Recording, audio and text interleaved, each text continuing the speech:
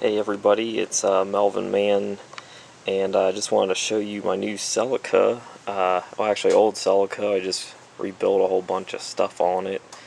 Uh, been in the garage for a while.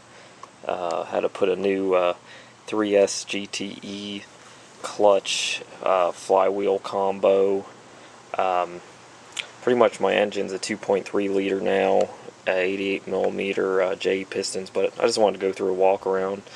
Notice I got ceramic paint there. That is the bomb. You want to ceramic paint everything you can because it reduces the heat temp and also doesn't mess with the metal. Um, just did a whole bunch of things on my car. I don't know, probably since the last time y'all saw it. Got a catch can there. I'm rerouting that to the idle air control valve next.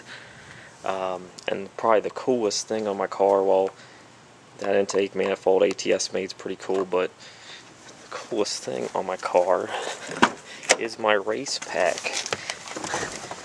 This is my new gauge cluster that replaced my other piece of crap gauge cluster. If you notice, it has pretty much everything on there. It tells me speed, idle, boost, uh, what my coolant temp is, intake temp, RPMs, nose is zero. My car's not started yet. Let's just start her up and let you see what I'm talking about here. It's pretty pimp.